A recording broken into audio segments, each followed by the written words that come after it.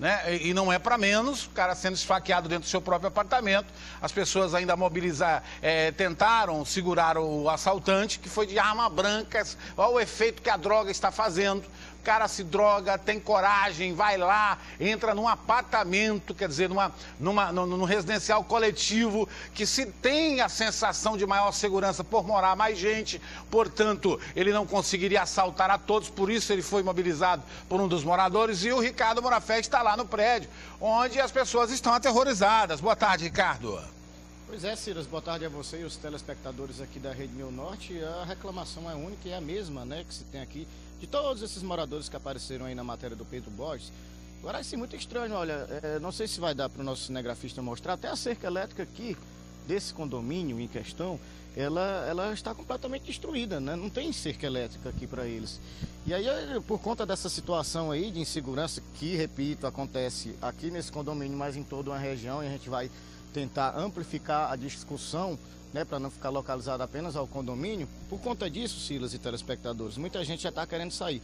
O senhor, por exemplo, é um, né, que já vai fechar o apartamento, né? Como é o nome do senhor? Eu sou Alvarenga, sou professor e eu estou saindo de casa com a minha esposa e filha, que certo. só tem quatro meses, porque eu não, não tenho mais o que fazer, não. A gente já fez reuniões aqui, já solicitamos ajuda, já conversamos na imobiliária, já conversamos com o, o gerente da Caixa Econômica. Agora, o que, o que dizem lá da administradora, inclusive da Caixa Econômica, é que há um grande número de inadimplência no ah. condomínio e eles dizem que por conta dessa inadimplência não tem como resolver a questão da segurança. Estão tentando fazer o marabarismo lá para poder resolver o problema. Agora, o que eu queria saber é o que se faz com as pessoas que pagam em dia. O que se faz com o cidadão decente, porque o meu apartamento está quitado, minha taxa de condomínio está em dia, meu imposto de renda está em dia, todos os meus impostos estão em dia e eu não tenho segurança.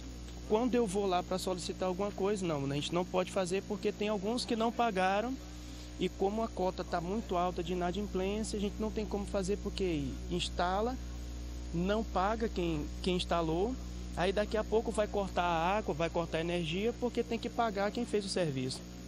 Ricardo. E aí para manter, fazer a coisa, tem que. Oi, Silas. Não, eu queria perguntar ao professor aí o seguinte, é, é isso que eu quero tirar uma dúvida, né? O, o PA, ele é um programa de arrendamento. Muitas pessoas, inclusive, já tiveram a oportunidade de quitar esse apartamento. Por quê? Porque quem arrendou no início é preferencialmente a pessoa que pode até comprar o apartamento mais tarde. Agora, essa administração, ela fica por conta da Caixa, para mim não falar besteira aqui, porque o que eu sabia é que é entregue aos moradores. E aí fica uma administradora, igual que administra qualquer condomínio privado, o, o, qualquer condomínio privado, fica responsável pela administração do condomínio. É isso que acontece ou foi a Caixa que escolheu a administradora? Como é que funciona, professor? Até onde eu saiba, passa-se por um processo de licitação. A hum. Caixa abre um processo de licitação ah, tá. onde administradoras oferecem o serviço. Pois não. Quem contrata é a Caixa. Ah, tá. Aqui, como você tem arrendatários, o dono do empreendimento é a Caixa Econômica. É a Caixa Econômica, tá certo. Então, se é para botar qualquer coisa, uma cerca elétrica, um vigilante, um porteiro, Entendo. quem contrata é a administradora via é, Caixa Econômica. Autorização da Caixa. Autorização. Então, Mas a administradora, autoriza... a administradora é quem recebe o, as taxas de condomínio para manter essa administração. Isso, ela recebe as taxas de condomínio e presta, presta negociação com a Caixa Econômica, Entendo. que é a dona. Tudo bem, tudo bem, tudo bem. Então, aqui, inclusive, que tem duas portarias, eu não sei, muito possivelmente erro de engenharia na, na época em que foi construir, porque botaram duas portarias aqui e isso encarece muito quando se bota um porteiro. Sem dúvida. Encarece muito. Atrás desse bloco 4 aqui é terreno do condomínio. Uhum. Mas é uma galeria aí e ninguém faz nada. A prefeitura não pode fazer porque o terreno é particular. E para que a gente possa fazer, a Caixa Econômica tem que autorizar. Ah, Aí quando a Caixa Econômica vai para autorizar, diz não, porque se autorizar, vai aumentar a taxa de condomínio, vai aumentar a inadimplência e a gente não vai ter como honrar os compromissos.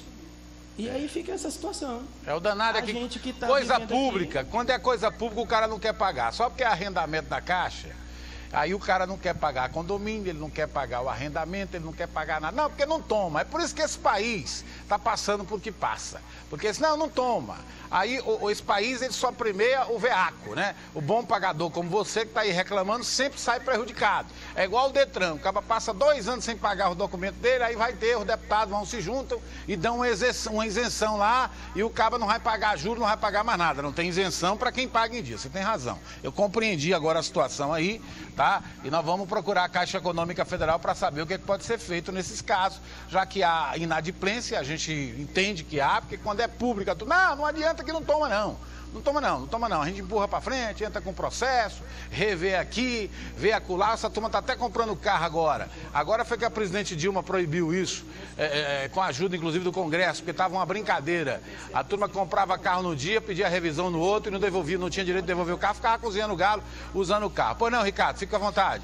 Pois é, Silas. E o Alvarenga, inclusive, já disse que vai sair daqui, vai morar com a mãe Pois né? é. Só volta para cá se resolver essa situação, porque não quer arriscar a vida dele e da família. Tá bem e que ele tem mãe, né? aqui- E eu que não tenho, chefe. Pois é, Pois quem não é, tem. é ruim. Quem não tem, dá ruim. É. Faça como o Matuto, Silas. Está atorando me seco. É, complicado. Agora tem esse cidadão aqui, Silas. é, o senhor falava que o seu carro foi arrombado quantas vezes? Cinco vezes já foi arrombado meu carro e uma vez o apartamento. Cinco vezes. Eu, eu sou morador desde o início aqui. Meu carro foi roubado cinco vezes e nenhuma providência foi tomada até agora. Nada. Eu fui. Todas as vezes eu fui na, no distrito lá, chega lá, até para atender a gente é difícil. E ainda mais vir aqui para ver alguma coisa. Polícia Militar.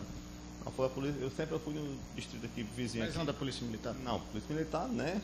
né, Pensar que não tem, nós estamos a Deus dará. Ninguém toma providência de nada. A Caixa fica jogando para King e a King jogando para Caixa e dizendo que, que existe inadimplência, que não pode fazer nada. E daí então todo mundo está sendo assaltado aqui. O maior perigo. Pois é, Silas, o que acontece aqui, acontece nessa região do bairro Cidade Nova. Que eu estou com o presidente da Associação de Moradores do bairro Cidade Nova, que é o Reginaldo Souza, né? Essa é a mesma cidade nova que teve um tiroteio entre bandidos a semana passada. E que, infelizmente, uma menina, há 10 dias atrás, foi vitimada, né? Foi vítima de uma bala perdida. É a mesma cidade nova que você pode até não estar sendo observado pelas quadrilhas, porque você está dentro do condomínio. Mas que qualquer equipe de televisão que vai fazer reportagem aí só não está pedindo permissão ainda, mas está sempre sendo observado, né? A equipe nossa Sempre sendo sempre observado. sendo observado. Quer dizer, uns, uns pé de chinelo, uns criminosos aí de periferia querendo imitar o sul do país. Pois não. Que residem até nessas vilas, né, situadas aqui no entorno desse bairro e de outros, o Monte Castelo é perto também, enfim. Então ele- eles moram nessas vilas pequenas, eh, vivem geralmente do tráfico e ficam indo e vindo por aqui cometendo atuações e observando, né? Fica difícil viver assim, né? Isso é verdade. Só retificando aqui o que aconteceu, é que na verdade esse tiroteio que houve foi no bairro Vila São José da Costa Rica, que é onde funciona o ensino médio da Fundação Nossa Senhora da Paz. Pois não. Pertinho. Aqui pertinho, comunidade vizinha. Mas aqui não é mais novidade com relação ao arrombamento, né? Foi novidade com relação ao fato, essa tragédia que aconteceu com o nosso vizinho. Mas aqui é comum acontecer. Eu acredito que é muito mais difícil você encontrar alguém que ainda não foi assaltado aqui nesse trecho do que mesmo encontrar pessoas que já foram vítimas de vândalos. Vocês já foram no quartel do Comando Geral, já explicitaram isso para a segurança? Sim, sim, já foi feito, tudo isso já foi feito já há, há anos atrás, né? Mas o que acontece aqui, que piorou cada vez mais aqui, foi porque eu acredito que é o único condomínio aqui em Teresina, talvez no Piauí, que tem duas entradas, que é fechado, que não existe porteiro, né? Quando surgiu aqui era mil maravilhas, né? Tinha porteiro manhã, tarde, noite, e depois disso não surgiu mais, né? Tem mais porteiro. A King realmente ela só recado dinheiro, porque essa história de alegar que existe pessoas aqui inadimplentes, isso é, é, é badela, né? Existem pessoas que até já quitou o seu condomínio, fora as pessoas que estão em dias que ainda não quitaram seus condomínios, entendeu? Então eu tenho certeza disso, que é minoria as pessoas que ainda não quitaram seus apartamentos, mas que muita gente está em dias e não justifica, porque aqueles que estejam inadimplentes e os que estão em dias vão ficar à mercê de bandidos, como acontece diariamente, né? Aqui pessoas têm a entrada É, livre, né? Sem contar que existem algumas pessoas que Eu não são sei como é que funciona esse sistema aí, apartamentos aqui, que botam pessoas de terceiros para morar.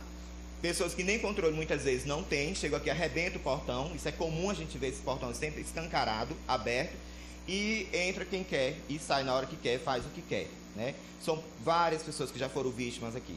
Pois não, Silas, Ricardo. Aqui, e Cira, só fechando aqui a minha participação, eu passei aqui hoje, aqui eu acho muito isolado realmente, aqui, e muito mato também.